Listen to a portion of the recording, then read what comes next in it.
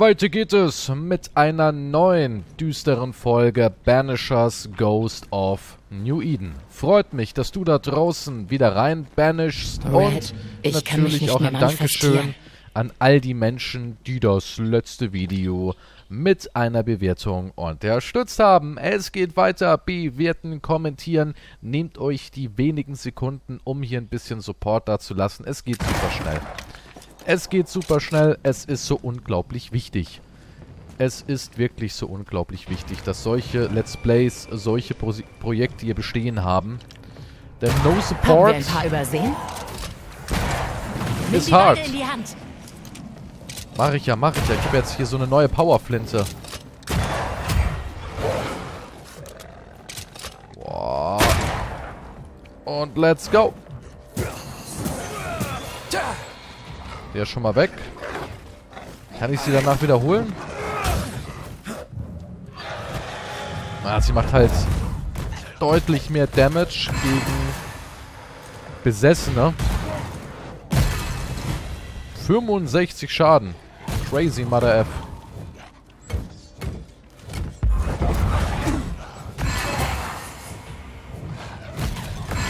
So, Wölkchen ist auch noch kaputt.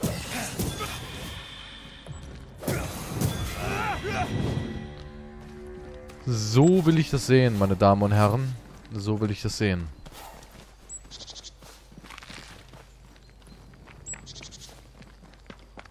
Ja, sie kann gut austeilen. Sobald irgendwas in eine Gestalt gefahren ist, macht sie den harten Damage.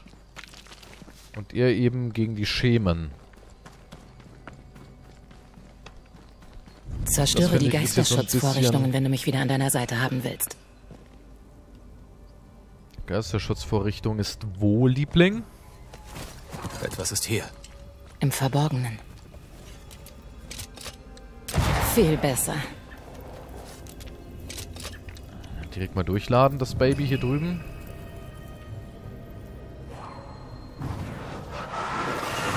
Weiter geht's. Wait a minute. Wie kann ich in die leeren Welt hineinwandeln?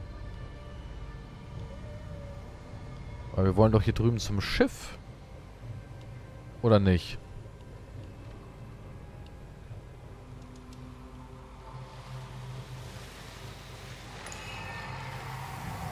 Leichen. Wir könnten das, was sich hier versteckt, herbeirufen. Let's do it. Ist es dann eine Geiselbeschwörung? Oder ne, Nö, ich mach mal das hier. Fügt euch und zeigt euch! Ich bin bereit. Boah, Headshot. Verschwinde da. Alter. Boah, jetzt ist sie plötzlich eine, eine fette alte Oma. Nee. Der ist nicht in meinem Fanclub. Wow, wow, wow, wow, wow. Wütender Fischer. Herr Fischer! Hören Sie auf! Alter! Okay, sie macht nicht wirklich Damage.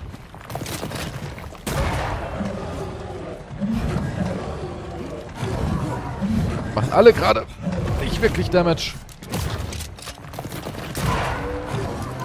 Nee. Das ist gerade nicht das Gelbe vom Ei. Vorsicht!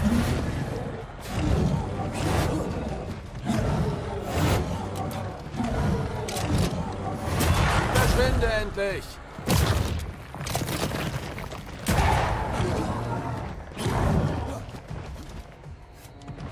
Schlapper hier mal einen Trunk.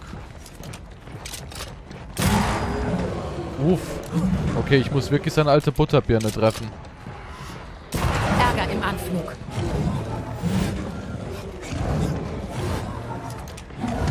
Bin dran, so gut ich kann.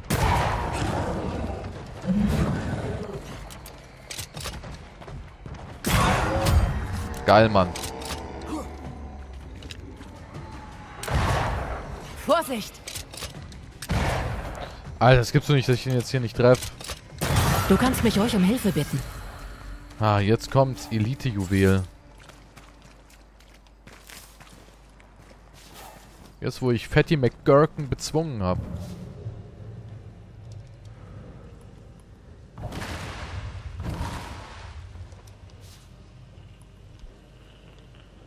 Was ist das denn hier?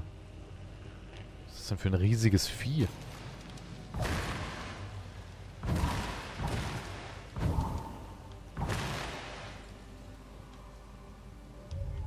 Saurierknochen, weil das ist garantiert kein Wal. Ein Wal hat nämlich keine Klauen. Huh. I don't know. Küstenkerzen. Alles mitnehmen, was geht.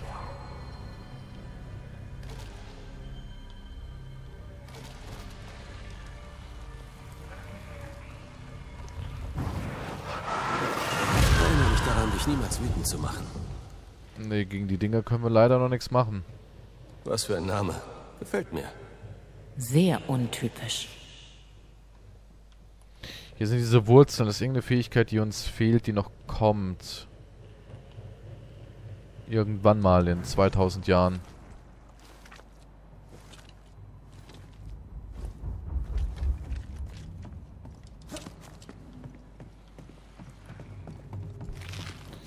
Frage mich, wann wir das erlernen. Was siehst du, meine Liebe? Ein Fischerboot, hm? Ist doch glaubwürdiger als eine Galeone.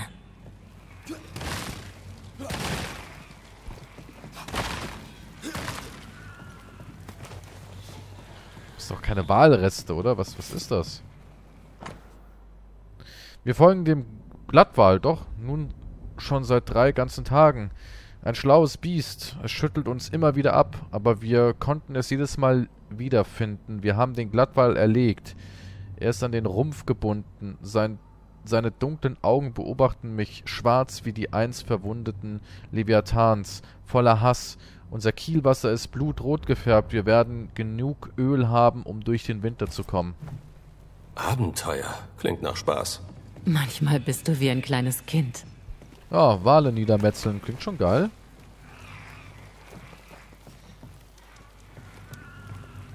Hier an Bord haben wir eine wütende Walseele. Lässig. Ja, aber das Wurzelwerk hier macht uns das Leben schwer. Klingt auch irgendwie nicht gerade angenehm.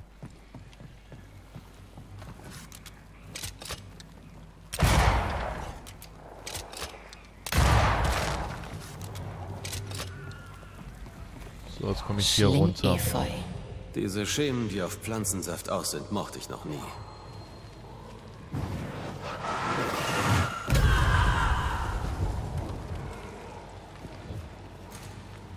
Nee. Nee. Ich glaube, da geht erstmal gar nichts.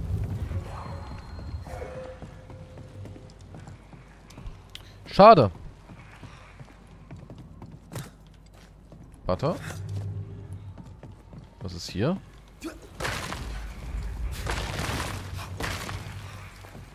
Nichts. Leinen, aber sonst nichts. Mies.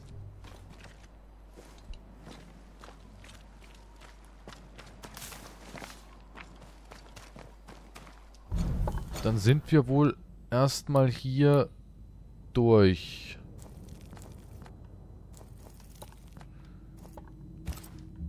Was ist denn unser Weg? Wo will er denn hin? Der Meister.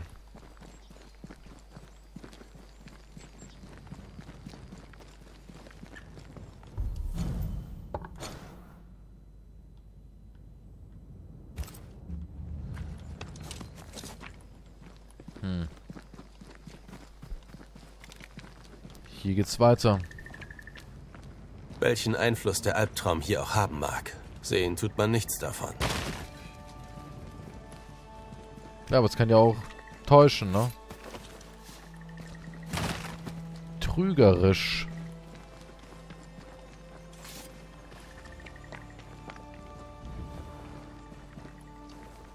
Oder was meinst du, meine Hübsche? Die Brücke ist oben. Ich frage mich, weshalb. Um Leute hier zu behalten oder etwas fernzuhalten. Hast du das gespürt? Es ist nahe. Ja, um Typen wie mich fernzuhalten.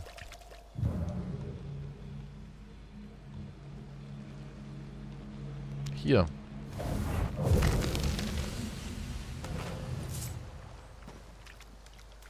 Hm. Ja, Schotten mögen kein Wasser.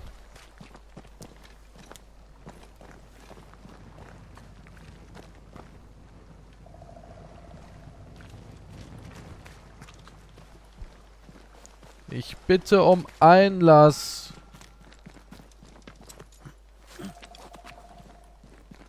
Was lauert auf uns? An die Arbeit, Verbanner.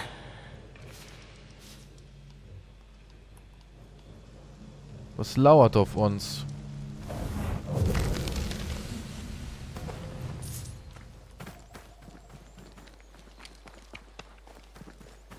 Jetzt bin ich ja wieder hier.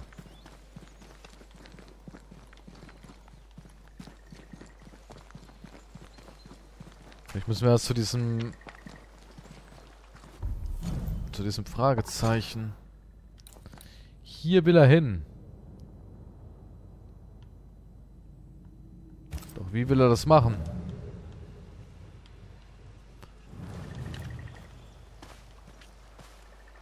Was ist das hier?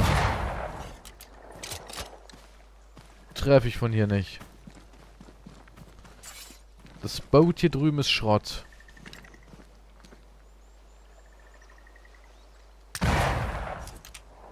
Ich glaube, ich kann die Brücke runterschießen.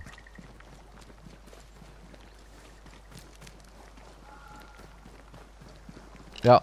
Von hier. Und hier so, glaube ich, noch eine kleine Truhe.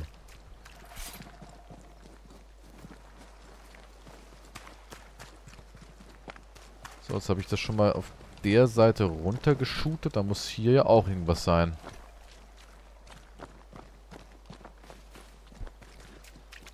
Ah, der Winkel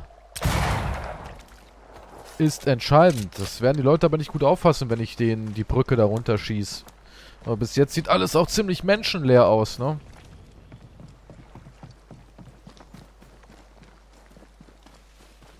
Hallo? Irgendjemand hier?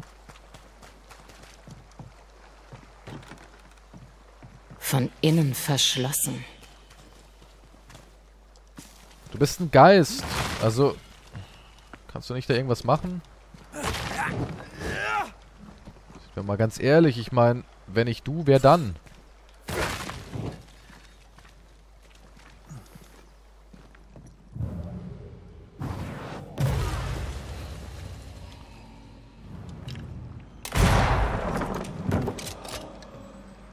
Wenn ich du, wer dann? Dass er nicht einfach reingehen kann, dann ihren Powerschreider macht und bumm, ist der Riegel doch geplatzt. Ich meine, sie kann ja ganze Felsen damit zerstören. Was spricht also gegen einen kleinen Riegel?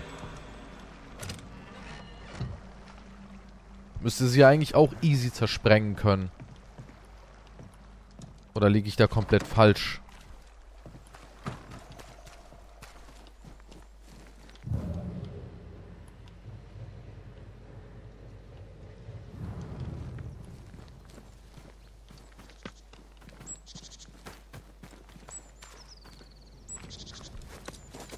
Das Dorf ist voller Geisterschutzvorrichtungen. Sie fürchten sich für irgendetwas. Zerstör sie besser nicht. Das sorgt nur für Ärger. Ich hätte jetzt direkt zerballert. Das Dorf in den Eggen.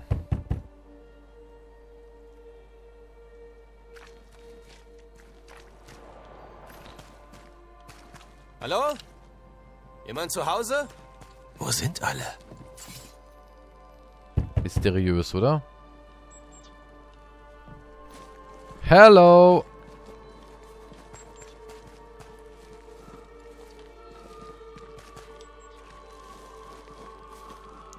Auch mysteriöse Geräusche. Was ist das denn hier?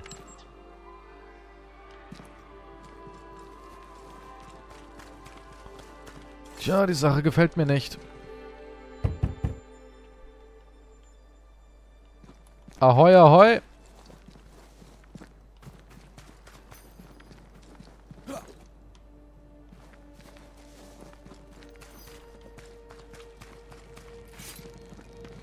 Steckbrief. Sieht aus wie ein Laden. Selbst der ist leer.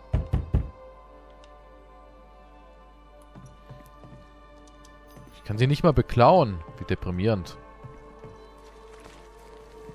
Was ist das hier? Eine Bäckerei. Es sieht wirklich relativ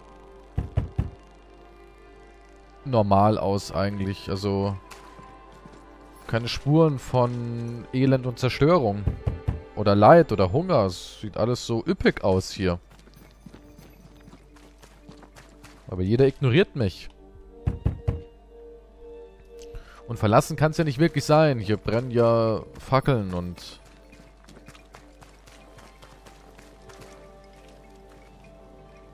Ha.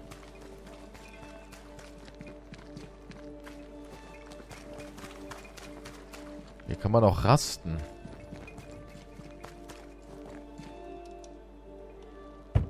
Hier brennt eine Kerze. Die muss ja irgendjemand angezündet haben.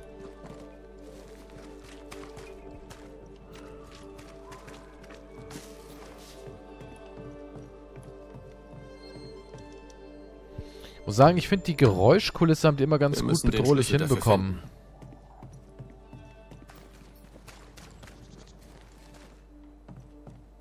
Okay, sobald eine Truhe einen Schlüssel braucht, kann was Dickes drin sein. Du kommst in ein Dorf, alles ist verlassen.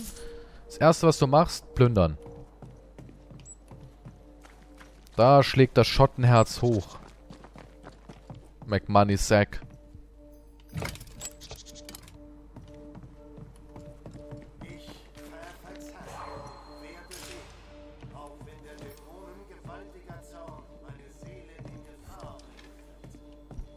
Hölle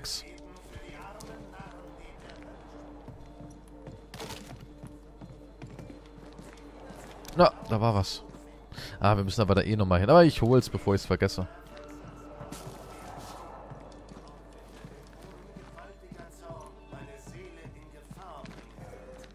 Ich werde dafür beten, dass mein Glaube, unser Glaube, der Glaube aller Inuiten mit kaltem Eisen und Gottes flammendem Licht verteidigt wird.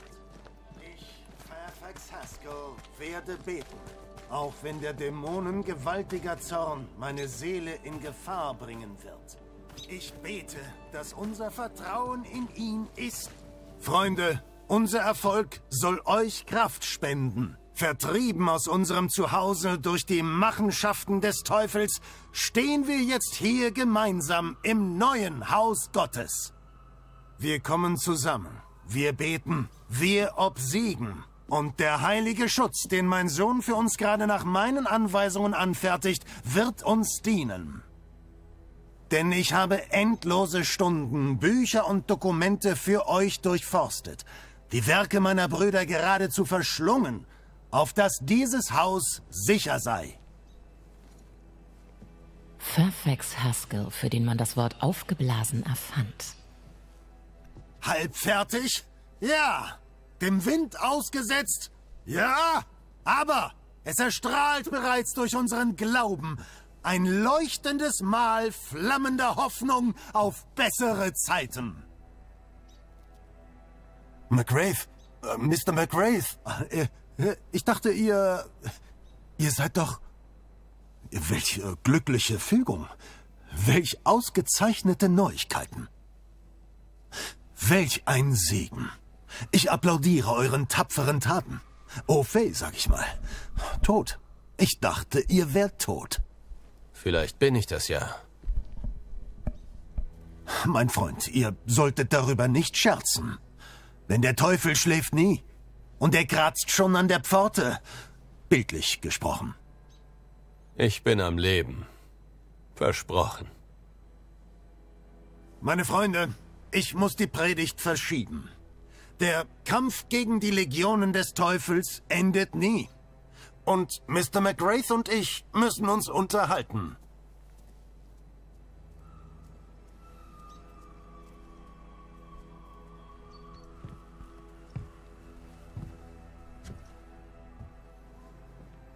Danke, Lemmy.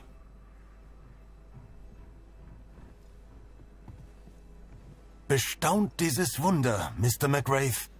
Selbst im Exil, in unserer dunkelsten Stunde, finden wir die Kraft, dieses bescheidene Monument zu errichten. Aber wir müssen über düsterere Dinge sprechen. Denn wir, gebildete, belesene Männer, wissen, dass das Böse noch unter uns weilt. Es ist viel zu tun.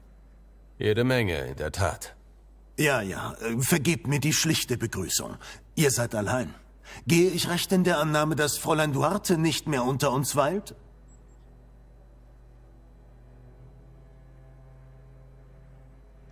Sie war sich des Risikos bewusst. Dann will ich zum König gehen, obwohl es gegen das Gesetz verstößt. Wenn ich umkomme, komme ich eben um. So sprach Esther zu Mordecai. Klug, mutig. Mein aufrichtiges Beileid. Die Trauer ist eine Reise, lang und voller Schmerzen. Aber ihr begeht diesen Weg nicht alleine. Das verspreche ich euch. Es kommt die Zeit, da ihr loslassen und alleine weitergehen müsst. Mit der Zeit heilte Gott meine Wunden. Möge doch ihr Frieden finden. Nun, bedauerlicherweise muss ich selbst in diesen für euch schlimmen Zeiten rasch zum Geschäftlichen kommen und euch einmal mehr um Hilfe bitten. Wie kann ich helfen?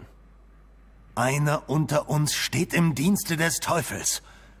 Die Kolonie ist vom Pech verfolgt. Und obwohl es mich beschämt, dies zuzugeben, das Böse weilt unter uns. Wir beide sind bewandert in diesen Angelegenheiten. Aber ich bin ein Mann von hohem Rang. Und ihr, werter Herr, seid der Mann fürs Praktische. Geht und sprecht mit den Leuten. Begebt euch unter sie. Bringt in Erfahrung, wer insgeheim mit dem Teufel paktiert, so dass wir dieses Übel herausschneiden können. Ist eine Hexenjagd weise? Hier und jetzt? Nun, es ist nicht nur weise, es ist unumgänglich. Dieser Diener des Teufels hat eine Seuche über meine Gemeinde gebracht. Beelzebub selbst begehrt unsere Vernichtung. Zuerst verdirbt er das Fleisch und später, wenn wir alle geschwächt sind, den Geist. Es spielt uns gegeneinander aus. Die Gemeinde wird durch Misstrauen erneut entzweigerissen, denn jeder verdächtigt jeden. All das, um meine Anhänger zu verwirren und sie vom göttlichen Pfad der Tugend abzubringen.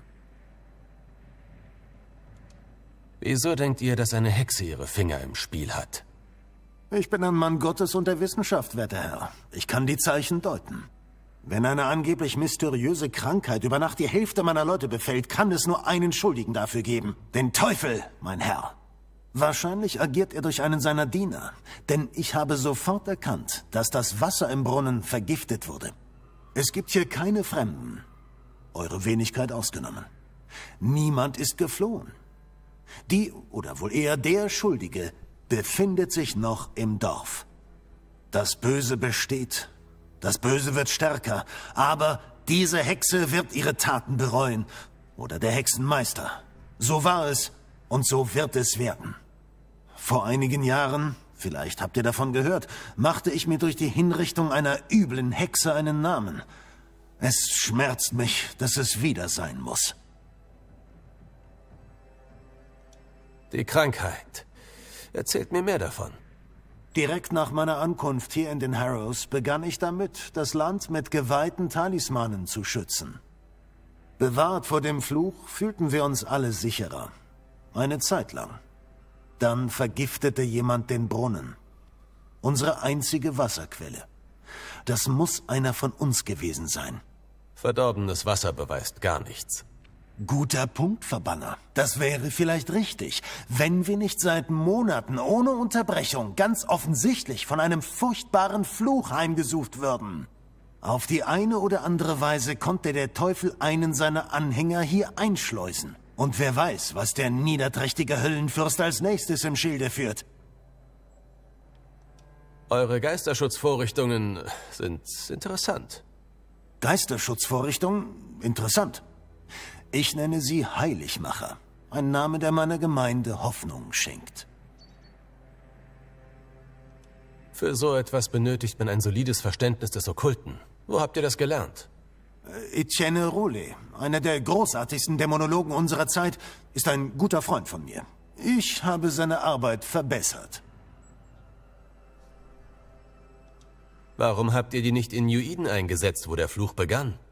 Es war schwieriger, die gesamte Kongregation von der Notwendigkeit von Magie zu überzeugen. Die Menschen hier vertrauen auf meine unleugbare Integrität.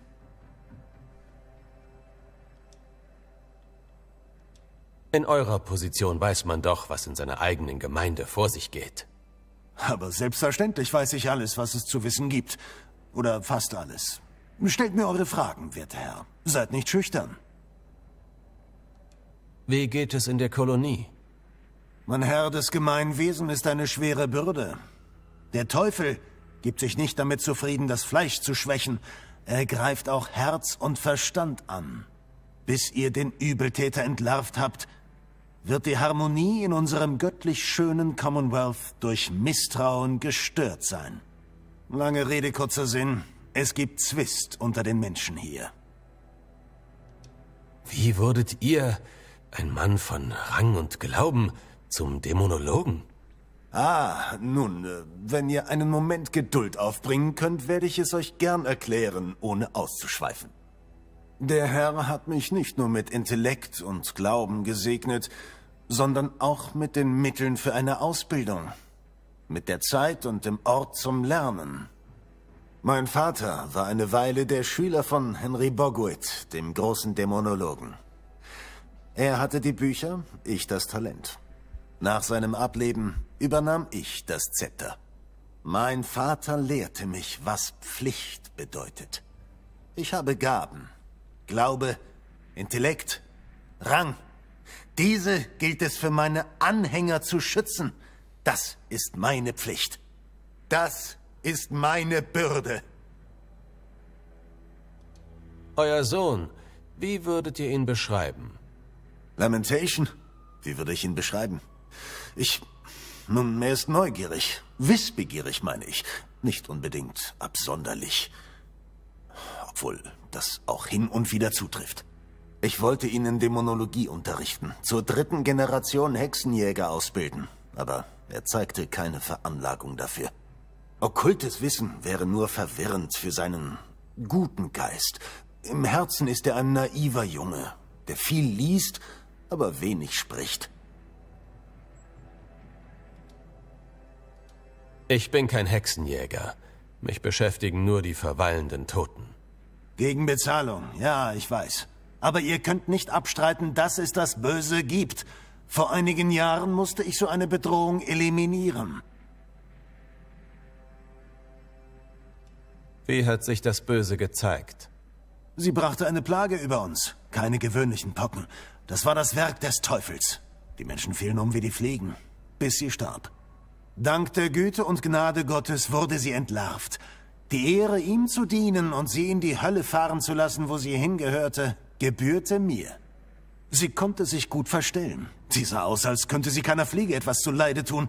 Aber einen Mann Gottes und der Wissenschaft kann man nicht so einfach täuschen. Nein, mein Herr, wahrlich nicht. Nehmt es mir nicht übel, aber dafür, dass dies das Paradies für Puritaner sein soll, gibt es hier auffällig viele Hexen. Gott hat sich nicht von uns abgewandt. Aber jemand hier verrichtet das Werk des Teufels. Findet die Hexe, Mr. McGrave. Macht aus diesem Land wieder einen Ort Gottes.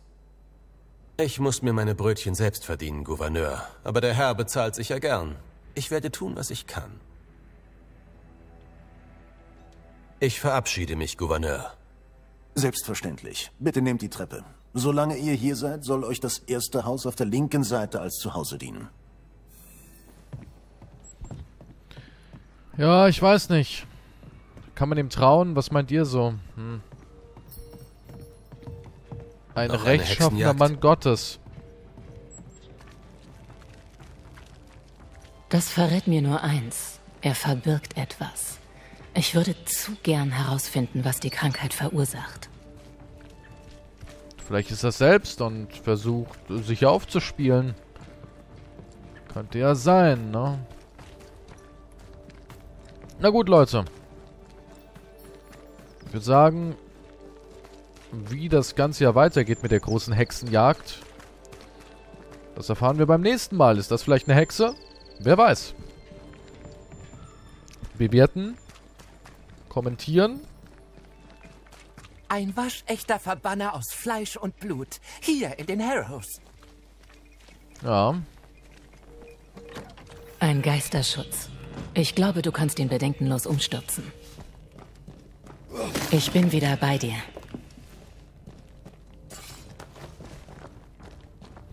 Macht eigentlich schon Bock, das zu spielen. Das ist nämlich ein Spiel, das nehme ich auch zu Hause im Keller auf, während alle anderen schlafen. Da arbeitet der Papa hier unten noch im Keller. Ich bin so ein richtiger Dad geworden. Vollbart, im Keller sitzen und Videospiele aufnehmen. Gott, wie schnell man Klischee wird. Äh, ja, wir sehen uns wieder beim nächsten Mal. Bewerten, kommentieren, auf Wiedersehen und